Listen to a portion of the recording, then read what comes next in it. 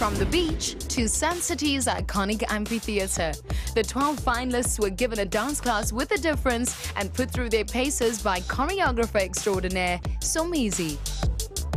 My favorite challenge at Sun City was definitely, without a doubt, the dance challenge. We get to dress like as if we've got so much attitude and we can conquer this world. And then I got to do the challenge with Julia, which obviously had a lot of laughing tale.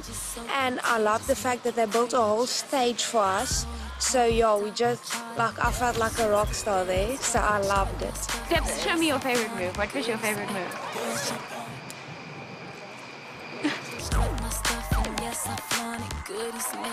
The Xbox 360 dance challenge was by far my favorite because Lala and I, we ripped it out.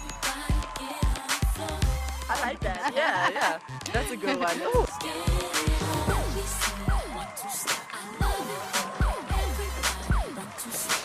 That's what it looks like when you win the dance challenge.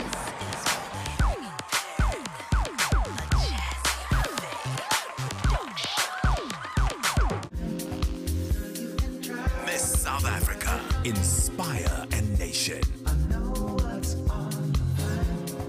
Miss South Africa 2014. Proudly sponsored by Cell C.